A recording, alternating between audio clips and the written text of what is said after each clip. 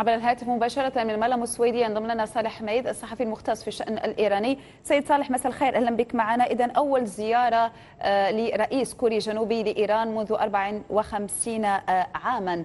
آه، يعني في عهد الرئيس روحاني في عهد سياساته ماذا يمثل هذا بالنسبة لإيران؟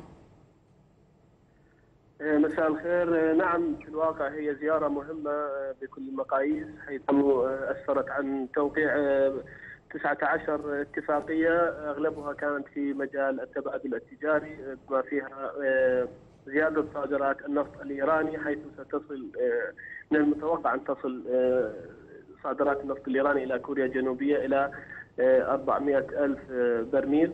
وهذا يشكل بصيص أمل لبرنامج روحاني الإصلاحي في الاقتصاد وإنقاذ الاقتصاد المتهالك من الأزمات آه، ولو آه، بشكل آه، بسيط ولكن هذا هذه الزيارة وهذه الاتفاقيات تشكل نقلة نوعية للاقتصاد الإيراني في سبيل التوجه نحو السوق الآسيوية حيث أن كوريا الجنوبية تمثل جانبا مهما. بالنسبة لإيران.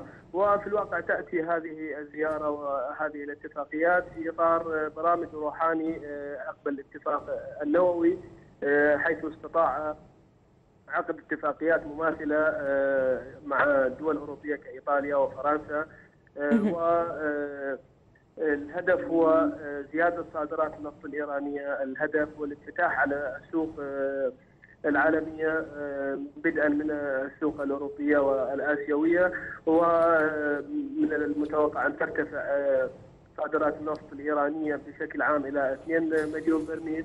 نعم. آه، كما أنه من المتوقع أن تستلم إيران الديون التي تطلبها من الهند نعم. وسائر الدول. طيب آه، هذه الزيارة وهذه آه، آه، الاتفاقيات المهمة التي تم التوقيع عليها في هذه الزيارة وهذه العائدات والنتائج المهمة على إيران في ظل سياسات الرئيس روحاني الانفتاحية والتي تحاول أن أن تتقدم بإيران وباقتصادها إلى أي مدى سيؤثر ذلك إيجابا على الاقتصاد الإيراني وعلى المواطن الإيراني؟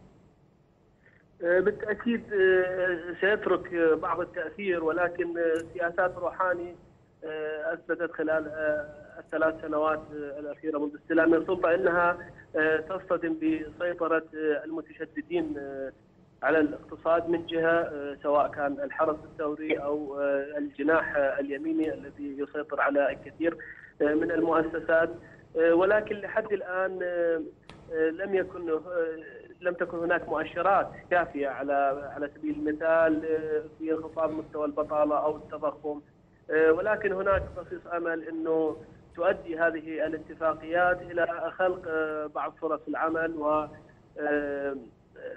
أزمة حل جزء من أزمة البطالة التي وصلت حوالي بين 8 و 9 ملايين. هناك بعض المؤشرات تدل على انه هنا في نمو الاقتصاد الإيراني مثلا تقرير صندوق النقد الدولي الذي توقع أن يكون النمو الإيراني في هذا العام آه، يصل إلى 4% آه، آه، ويحاول روحاني أن ينفتح أكثر حول آسيا وأوروبا خاصة من خلال اعتماد سياسة منفتحة ولكن بالواقع هذه السياسة آه، تصطدم بجدار آه، سياسة الاقتصاد المقاوم التي يطرحها المرشد في إيران. نعم.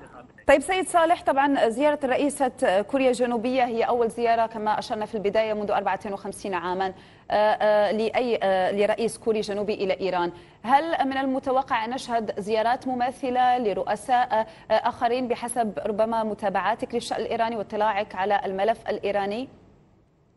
إيه، نعم بالواقع إيران الآن تحاول أن تتجه نحو الدول الأوروبية إيه، ولكن إيه، ما زالت خطوات تطبيق الاتفاق النووي تسير ببطء حيث أن الشركات الكبرى وحتى البنوك الكبرى الأوروبية ما زالت تخشى من التعامل مع إيران رغم إنه هناك بعض الشركات كالشركات الألمانية أو الإيطالية بالفعل عقدت بعض آه، العقود وتريد أن تستثمر في السوق الإيرانية ولكن آه، التصريحات التيار المتشدد في إيران تهدد هذه الفرص تهدد حتى الاتفاق النووي برمته. نعم. ولكن المحاولات من قبل حكومة روحاني جارية في سبيل الانفتاح على السوق الأوروبية بشكل أشكرك جزيلا على هذه المداخلة معنا صالح حميد صحفي المختص في الشأن الإيراني. كنت معنا عبر الهاتف مباشرة من مالم السويدية. شكرا لك.